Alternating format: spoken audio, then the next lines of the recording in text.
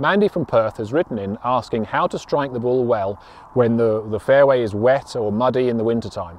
And the simple answer is you should strike it exactly the same as you do normally, which is the club reaching the ball first and not hitting the ground until after contact. What this means is that the condition of the fairway shouldn't affect the shot. However, with the very wet fairways, if you're not looking forward to the explosion of water and mud, you do have a second option, and that is to intentionally hit the ball very low on the face and pick it cleanly off the ground. So the two simple things you need to do here are move the ball a bit further forward in the stance so the club has got time to level off as it hits. And second would be to grip down slightly on the grip, which shortens the club and stops the club from contacting the floor. So let's give this a go here. Take our setup as normal, place the ball a bit further forward in the stance, grip down a little bit, and a clean contact is what we're looking for.